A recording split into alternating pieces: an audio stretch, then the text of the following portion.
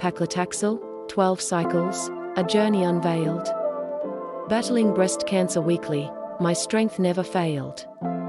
Doxorubicin and cyclophosphamide, for cycles of their healing touch. Fortnightly treatments, overcoming so much. Filgrastim aiding, a companion in strife. Navigating challenges, embracing life. Mastectomy and lymphectomy, a transformative phase. Weariness shining through, a dull haze. 15 cycles of radiation, each beam array. Fighting the darkness, illuminating the way. Capecitabine, 8 rounds of 3 weekly cycles to embrace.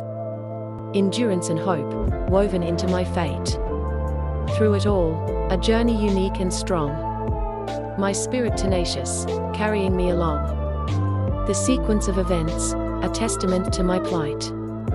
Navigating through darkness, blossoming into sunlight.